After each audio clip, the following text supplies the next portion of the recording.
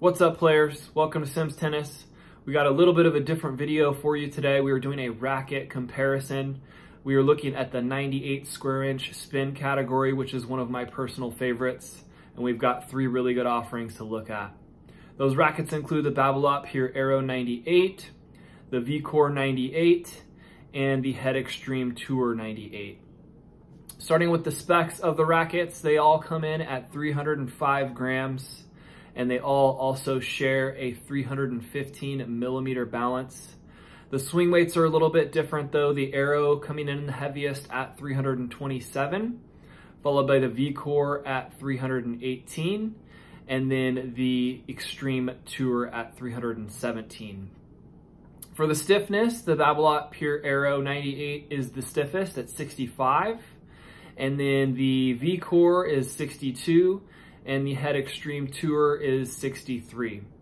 The string patterns, the Babolat Pure Aero 98 is a little bit different. It's got a 16 by 20 pattern where the V-Core and Extreme both share a 16 by 19 pattern. For the beam, um, they're all a little bit different, but nothing too outlandish. They all range between 21 and 23 millimeters. Um, they each have their own specific and slightly different taper, but they're not too different from each other.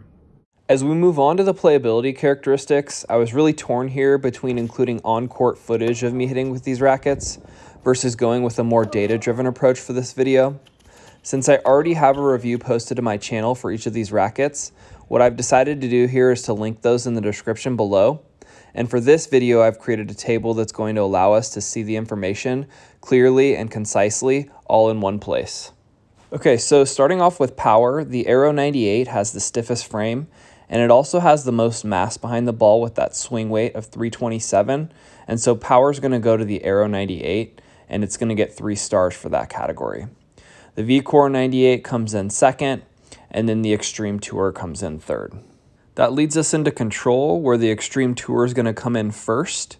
It's got the most traditional head shape and arguably the tightest string pattern. And I also felt the most connected to the ball here. And so the Extreme Tour is going to get three stars there. The V-Core 98, again, is in second with two. And then the Aero with the highest powered response is coming in third place with a single star. So next up is maneuverability. The Extreme Tour with that more traditional head shape and that just slightly lower swing weight comes in first place here with three stars, uh, followed closely by the V-Core 98. And then the Aero 98 was a little bit more sluggish than those two with that beefier swing weight of 327. That leads us into stability, where the higher swing weight and twist weight of the Aero 98 are going to give it three stars and put it in first place. Followed closely there by the V-Core 98 and then the Extreme Tour is coming in third in this category. For touch and feel, again, I felt the most connected um, direct response from the Extreme Tour. And so it's going to get three stars there, followed again by the V-Core 98. And then lastly, the Aero 98 gave me kind of the most dampened response and also was the most powerful. And so it's going to come in third place there. All right, so moving on to topspin here, the Aero 98 is king. It's got the stiffest frame and it also has the most mass behind the ball with that higher swing weight. So that really allows you to get the ball to compress into the strings and then kind of shoot out with lots of spin. The V-Core 98 was a pretty close second, and then the Extreme Tour was not far behind. Again, remember though, we were in the spin category of rackets, so all of these rackets spun the ball really well for a 98 square inch frame. All right, so moving on to ground strokes, we'll start with the forehand. On the forehand side, where it's a lot easier to generate racket head speed and I really value control, the Extreme Tour is going to come in first with three stars, followed by the V-Core with two stars, and then the Aero with that single star. Keep in mind that this could change a bit depending on what you value. If you value the pop and spin on that forehand side, you'd be leaning more towards the Aero than you would towards the Extreme Tour. That's exactly the case for me on the backhand side where my swing is shorter and flatter. I really value that added mass behind the ball and that free pop on the backhand side. And so the Aero is going to get three stars here. The V-Core comes in second with two stars, and the Extreme Tour comes in third with the single star. Moving on to slice, the Extreme Tour has been giving me the best direct connected feel to the ball. And so it's going to take first place, getting three stars here, followed by the VCore getting two stars, and the Aero getting a single star. For volleys, it's more of the same.